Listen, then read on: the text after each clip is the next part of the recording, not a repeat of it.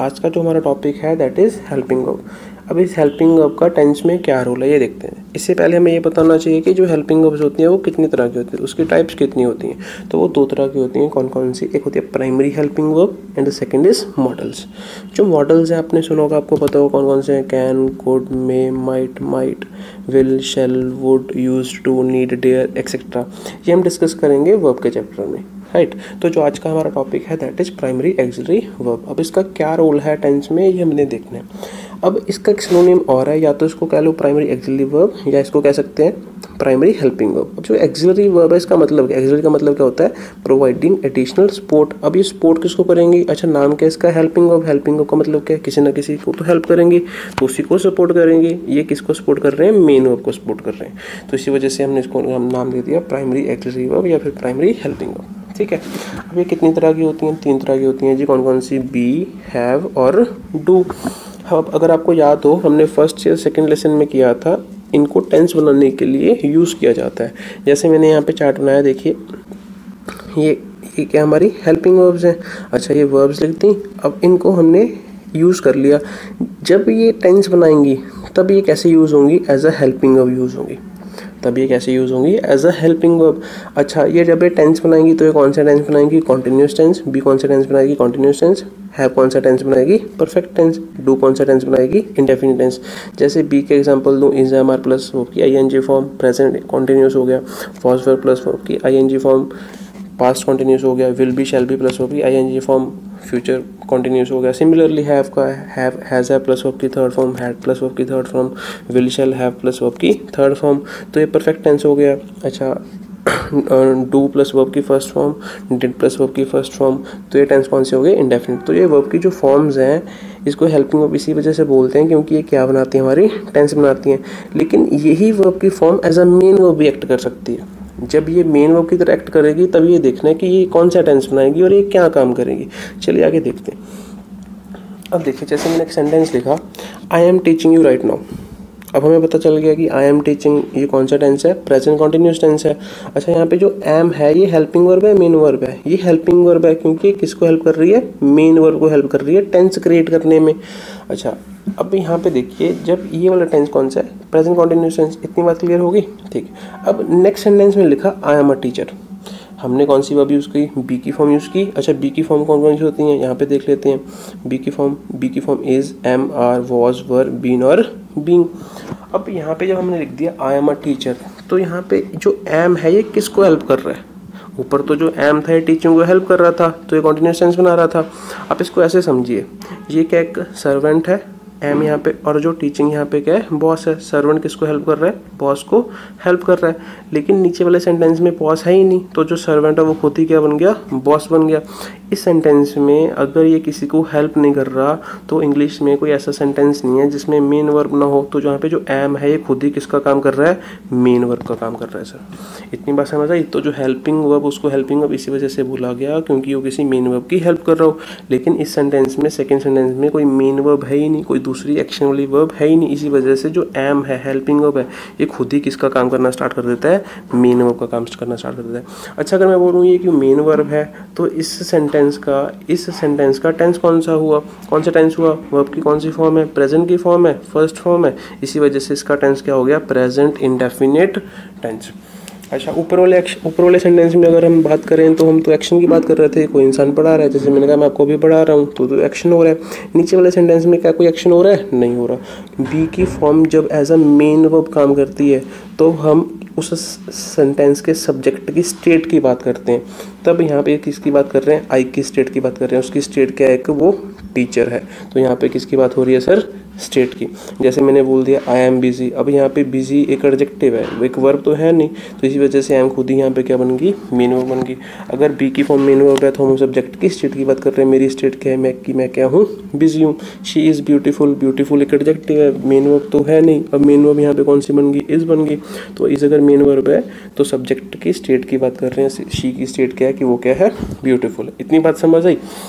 तो हमें पता चल गया, ये प्रेजेंट इंडेफिनिट है, ये भी प्रेजेंट इंडेफिनिट है और ये भी क्या है प्रेजेंट इंडेफिनिट क्योंकि यहाँ पे बी की फ़र्स्ट फॉर्म हम यूज़ कर रहे हैं। अच्छा अब आगे चलते हैं। ये मेरी प्रेजेंट की स्टेट है, जो ये हमने बात की। ये प्रेजेंट की स्टेट है। सिमिलरली अगर मुझे पास्ट की स्टेट रेफर करनी होगी तो मैं क्या लिख दूँगा? आई वॉज़ अ स्टूडेंट अब यहाँ पे जो वॉज़ है, ये भी क्या है? मेन वर्ब है। ये कौन सा टेंस हो गया? पास्ट इंडेफिनिट टेंस इतनी बात क्लियर हुई?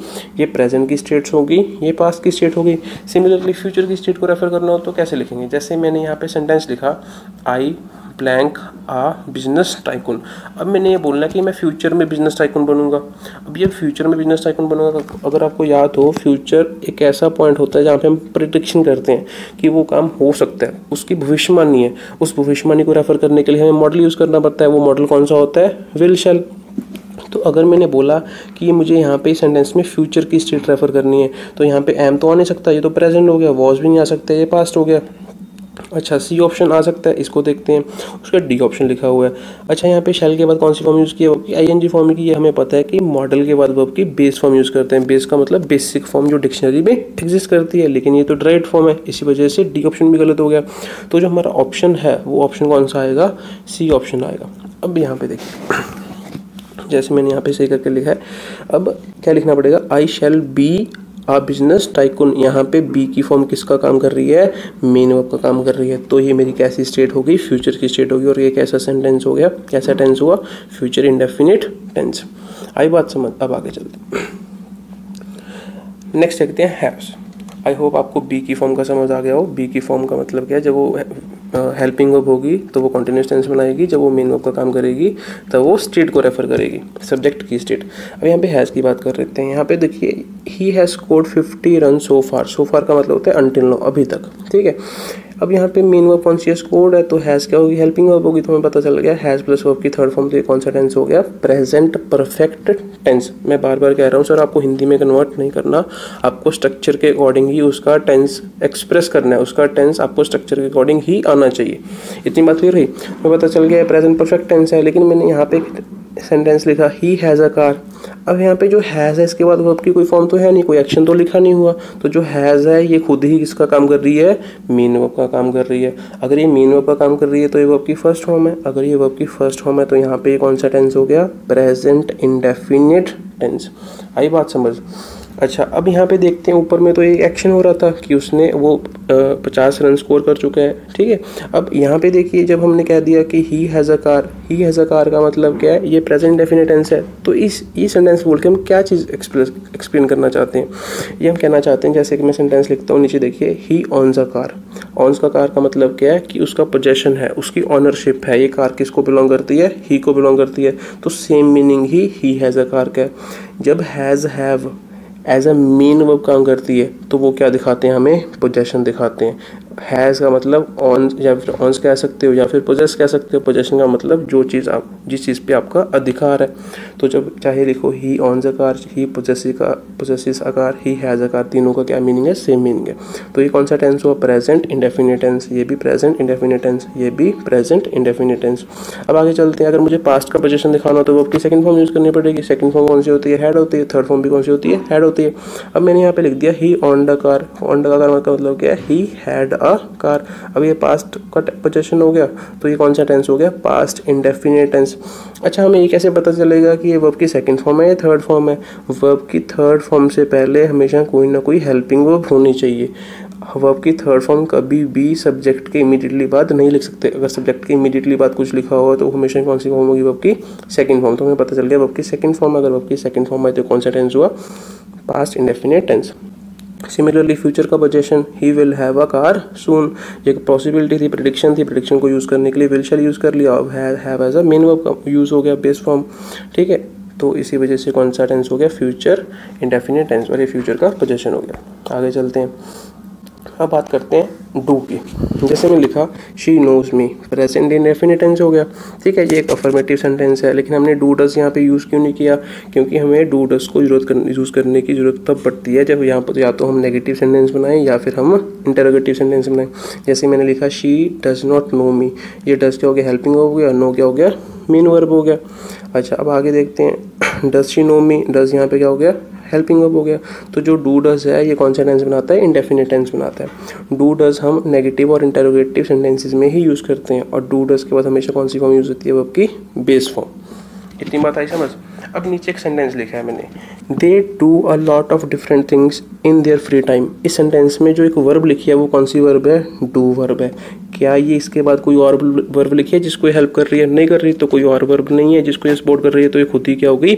मेन वर्ब हो गई। अगर ये खुद ही मेन वर्ब हो गई तो ये वर्ब की फ़र्स्ट फॉर्म है तो यहाँ पे कौन सा टेंस हो गया प्रेजेंट इंडेफिनेट टेंस अच्छा जैसे यहाँ पे ऊपर तो एक्शन हो रहा था। ठीक है, जब ये do as a main verb काम करती है तो ये क्या काम करती है? ये भी क्या दिखाती है? एक्शन दिखाती है। आगे चलते हैं। She did all the work without any help ये पास्ट का एक्शन हो गया। ये पास्ट इंडेफिनेट टेंस हो गया। नेक्स्ट चलते हैं। She will do it later in the evening do as a main verb हो गई। तो ये भी किसको रेफर कर रही है? एक्शन को। तो ये कौन सा टेंस हो गया? फ्यूचर इंडेफिनेट टेंस जब do as a main verb काम करती है तो ये एक एक्शन को ही रेफर करती है। किसी डूइंग को ही रेफर करती है। आई होप आपको समझ आया होगा। अब आगे चलते हैं। अब देखिए, जैसे हमने यहाँ पे स्टार्ट किया था, हमें पता चल गया जो बी है हैव है डू है, ये प्राइमरी हेल्पिंग वर्ब है प्राइमरी एक्सिलरी वर्ब है। ये हेल्पिंग वर्ब्स हैं, लेकिन एज अ मेन वर्ब का काम भी कर सकती हैं। जब be as a helping verb काम करेगी तो वो क्या इसका काम करेगी? कंटिन्यूस टेंस बनाएगी, लेकिन जब वो मेन वर्ब का काम करेगी, वो किसकी स्टेट बताएगी सब्जेक्ट की स्टेट बताएगी। जब have as a helping verb काम करेगी तो वो परफेक्ट टेंस बनाएगी। जब वो मेन वर्ब का काम करेगी तो वो क्या दिखाएगी? पोजेशन या फिर ऑनरशिप जैसे I have a car I have a phone third है डू जब do as the helping verb काम करेगी तो वो कौन सा टेंस बनाएगी? इंडेफिनेट टेंस लेकिन जब वो एज अ मेन वर्ब काम करेगी तो वो क्या रिप्रेजेंट करेगी? एक्शन को।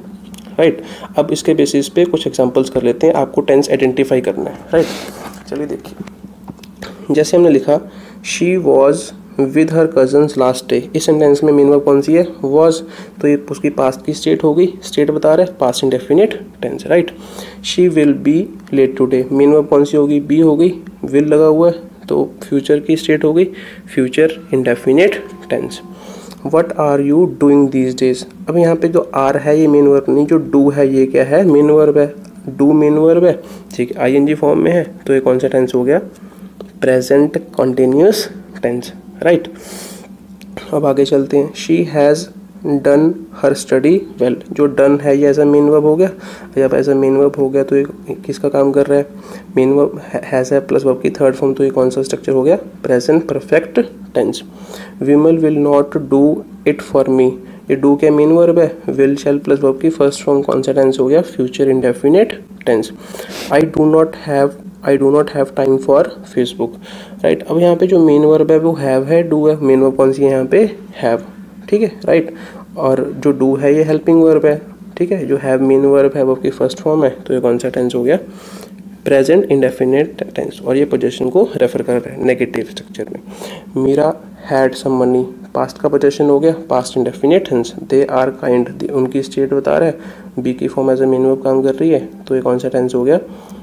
प्रेजेंट इंडेफिनेट टेंस ठीक है? तो आज के लिए इतना ही. आई होप आपको मेरा लेक्चर पसंद आया होगा. Thank you